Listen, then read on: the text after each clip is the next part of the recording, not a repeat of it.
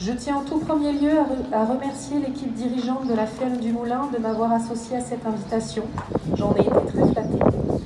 Je vous souhaite la bienvenue à Bourneville-Sainte-Croix, commune rurale de 1260 habitants. J'insiste sur le mot rural car la municipalité et moi-même y sommes très attachés. Notre village va indéniablement se développer dans les prochaines années avec le soutien de la région Normandie, mais il est primordial d'en garder le caractère rural. J'en suis convaincue, je suis convaincue que ces deux notions ne sont pas antinomiques. Aujourd'hui, je souhaite un grand succès à l'opération promue à l'occasion de la fête des moissons et des récoltes et y espère une forte influence. Affluence. Et influence aussi, après tout. Les visiteurs vont découvrir ou redécouvrir qu'un agriculteur est avant tout un entrepreneur qui doit, comme dans toute autre forme d'entrepreneuriat, si ce n'est plus, s'adapter sans cesse aux nouvelles normes, réglementations souvent très contraignantes, et faire preuve de beaucoup de réactivité face à cela.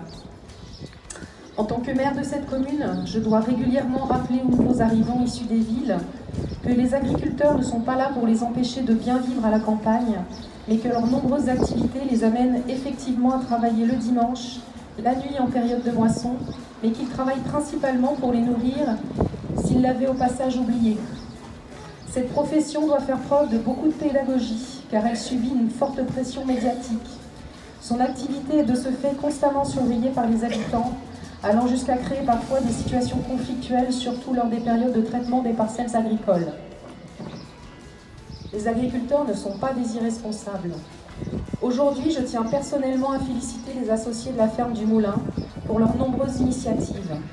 Cette exploitation s'inscrit ces dernières années dans une démarche de projet innovant, tant sur le volet des énergies renouvelables, en équipant les hangars de surface photovoltaïque, ou encore par la construction d'un méthaniseur agricole, qui n'a soulevé, je tiens à le souligner, aucune réticence de la part de la population.